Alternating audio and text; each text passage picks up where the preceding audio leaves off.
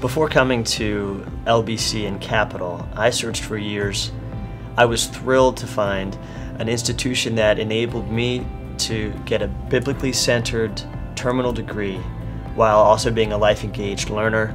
So I have a full time job and a full time family, and I can learn from home and get the best of both worlds because the cohort experience enables me to know my colleagues on a personal level and my professors as well. We have a lot of diversity in our program. We have African Americans, we have Africans, we have someone from Haiti right now, we have a few other women, and so it's great to be studying with a diverse group of people. We don't all look exactly the same, we don't all bring exactly the same perspective or background to the table, and that's a beautiful thing. It's helpful to have all those different types of people in the program so that we really reflect the community of God. I believe what I'm learning here is one of the best way to go back and change things in Haiti. I would like to change things about preaching, good preaching.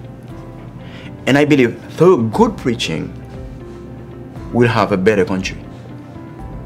When asked or when posed the question, what have I enjoyed about this program? I have to say it's the interaction um, with our professors. Um, they've all been great. They've stretched me in a way that I didn't think I could. Um, there were times where even the doubts creep in, can I accomplish this? And the resounding response from everyone in our leadership, all of our professors, and even Dr. Tague has been, yes, you can.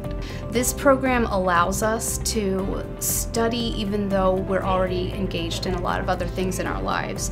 And because it's partly online and partly in person, we're able to do a lot of that work from wherever we are.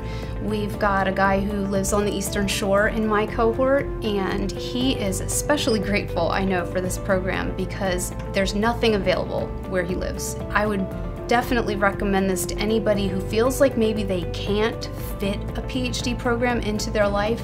I think with Capital, they probably can.